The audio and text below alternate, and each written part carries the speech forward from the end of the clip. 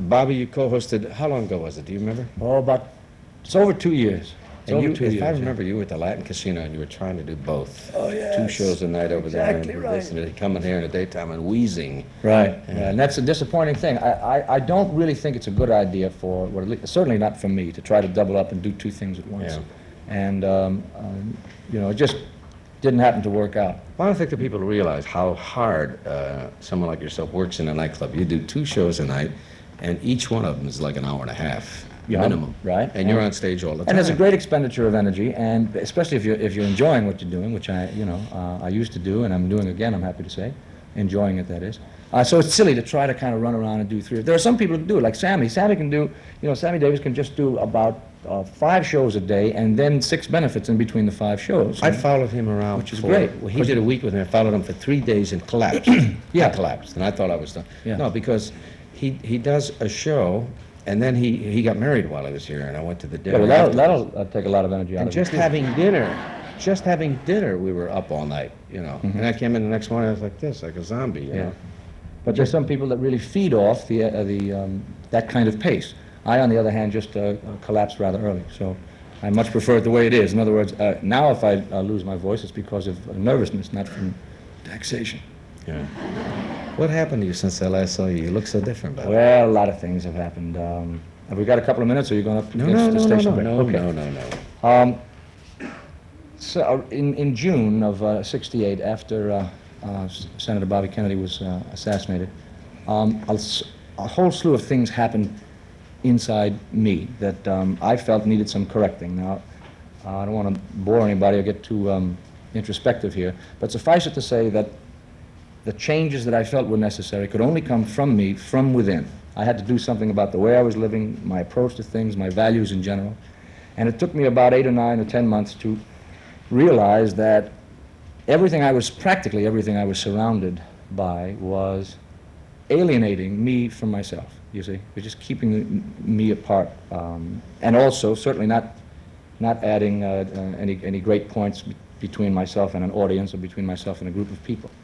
Um, You said, So- you said the way you were living, your values. What were you, how were you Well, living? for example, I'd open my closet and there were 85 suits uh, ranging from $300 to $350, $400 a piece, uh, 12, 15 tuxedos at $400 or $450 a piece, 90 pairs of shoes, uh, uh, just an incredible excess. Uh, now, I know that part of that comes, came from the need to compensate for when I was a young person because I was born in uh, very, very uh, uh, poverty-stricken uh, surroundings, and I just didn't know what it was to have anything material. So you, you try to make that compensation. Suffice it to say that it, it, it doesn't answer whatever was really, you know, kind of plaguing me. Um, and I just got tired. I mean, I had a had a big house homes. at the beach. You had a lot of I- homes, didn't you? I had a big house at the beach, and I had another house in town, and I had a, you know, long cars, and just a lot of garbage when you finally break it down. Uh, uh, nothing you could really hold, and, and that could, you know, make you feel good and warm, and, and so forth.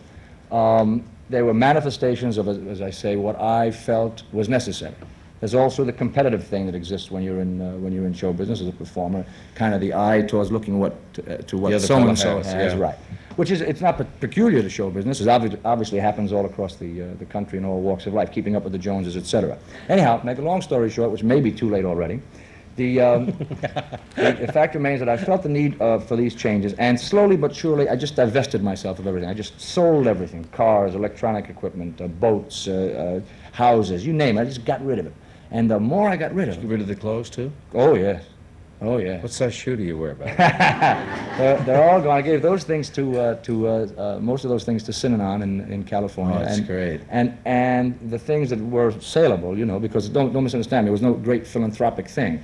It was a question of I needed to rid myself of these things, so I sold them off. Um, uh, You didn't work for a while either. no, no. Right after that, I, I, I uh, uh, took a little trailer, an 18-foot trailer, um, literally a trailer, you know, the, the, the kind that you kind of hook up to the back of a car. Not a, a little trailer, not a deluxe trailer? Eight, 18 feet. Uh-huh. You can't be deluxe in 18 feet. A lot of people, I, I had heard about it. Isn't Yeah. it funny? People said, oh, sure, he's up by himself, but he's got a quarter of a million dollar trailer. That wasn't no, true, right? afraid not. It cost $2,400. Okay. That's what it cost. And um, I lived in it for, um, uh, well, a little less than a year. Uh, and during that Where, time, excuse me, where exactly in, did you in- take it? in Big Sur, there's a lovely area called Pfeiffer Beach. Big Sur is Northern California, uh, Central California, on the coast. Northern California is super. And it really is country. a beautiful, well, you know what it is? It's a question of there is a, is a place in California that really is as, as um, almost as intact as it was probably 10, 20,000 years ago. And um, needless to say, I just got myself there with some friends who live on a, on a farm, by the way. I wasn't alone. I wasn't going into a total reclusive kind of existence. But during that time, all I had to, to work with were, were, were books and, and uh, um, uh, the, the earth around me and really a togetherness with all of the things that have been here all the time. See. excuse me, the friends, were they in show business? No, no, no, no, no. The fellow that owns the land is a, is a, is a, uh, an ex-engineer who chucked it all about 10, 15 years ago and uh, bought himself a little parcel up there and kind of just lives off the land, if you, if you know what I'm saying. great. And, and it was just a, uh, an, an, I was, let me put it this way. I found that if I hadn't, if I was not going to do this, I would have been destroyed spiritually, put it that way. You see? Mm-hmm. And as a result of doing it, I felt better. Now, what I've come to know, and this is the most important thing, because I went out to ask, to, to get an answer, certainly. And there was no one answer, billions of them, I guess. But for me, it was a question of I need that kind of existence, but I also need to perform. And until I did that, until I went away and took that time, I did not know that I needed to perform. So now what I'm, what I'm able to do is maintain a kind of balance between a simplistic existence. I live in a little house now in, in, in Malibu on the beach, which kind of keeps me together with, uh, with uh, the realities of, of You have uh, children, don't you, I have a little boy, eight and a half years old. How about, uh, you have to see him, don't you? Oh, sure. That's the reason I stay in Southern California. Otherwise, my earth would be living somewhere else because it, uh, it gets uh, awfully hard. I'm, when, I, when I say living somewhere else, I mean literally, I, I would live somewhere else and then come to work wherever the work was. Now, you went also from the name Bobby to calling yourself simply Bob, and now you're back to Bobby. Well, Why? Uh, on the screen, I did a picture for Richard Brooks called uh, The Happy Ending, and uh, he asked me how I'd like to be billed. And all my film career, I wanted to be called Robert Darin on the screen. I thought that was neat, you know. I- It always, always says James uh, Stewart, and never says Jimmy. Everybody calls him Jimmy, and things like that. And said uh, James uh, Cagney, you know. So I just went Yeah. to my with the full name. you know. Robert Darin. Robert Darin. And people go in the theater and they'd see the Robert Darin, and they'd see me on the screen and say, "Oh, that's Bobby Darin." So he was trying to do something Yeah. fancy. See, I wasn't trying to pull any trick. It was just anyhow, Robert Bob. It doesn't matter what you call me as long as it's not early. What did you do with yourself during all that time, Bobby? What did I do with myself? I mean, the did you period write? away. Did you do anything constructive? Being away was constructive. Uh, absolutely. If I had done nothing at all that, that one could relate to in terms of writing something down, or which I did, but if I'd done nothing at all, it would have been well worth it and certainly constructive.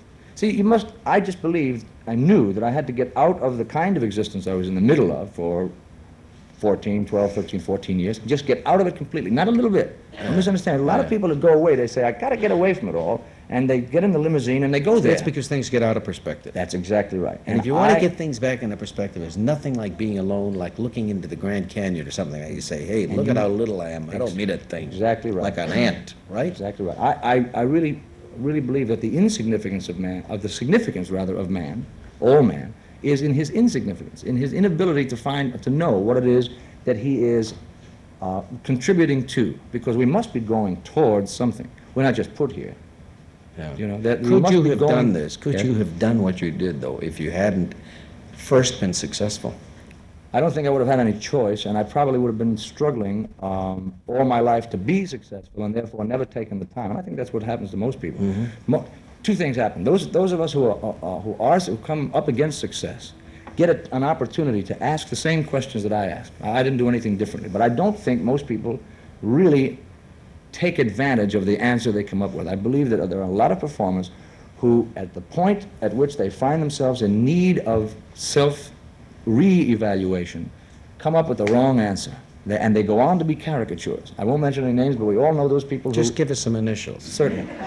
No, Uh, that. certain people who are marvelous performers, and we all are attracted to them. And all of a sudden, a few years go by, and then you go to see him, and you say, I, I know he's doing what he's supposed to be doing, but it doesn't look like his heart's in it. And I really believe that the reason for that is that he's looked at himself and said, this is what they want, that's what I'm going to give them, and I, I don't have to worry about being a success. It'll, it'll, it'll all, it'll continue that way. What is it about this, this business? Is the bigger people get, the more confused they seem to get. And the, the really big ones that I have met, the superstars that I have met in this business, are not happy people.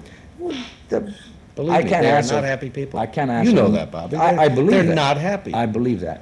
Uh, but I also believe it's because they are continuing to do and, and be part of a mold that is not of their, it may have been of their original making, but it no longer satisfies them, and yet they must do it. Agents, managers, press involvement, family uh, responsibilities, people in their ears. For example, what I heard more than anything else was when I elected to change my lifestyle, what I heard more than anything else was, you can't do that to your fans. You can't do that to your friends. You can't, you can't do that. And I see enough don't walk, no smoking, don't run, stop signs in my life all around to know that they're put here by people. And my contention is I'm a people, and I know what I can do and what I cannot do, and it should not be, and it will not be based on your feelings, or forgive me, your feelings. When I'm entertaining, I want to do what you want, but I would like it to have some kind of a meaning for me. In fact, I insist on it now, What did you find out about yourself in that length of time? That I can do and be both things to me. You follow? I can be the person, and I can be the performer.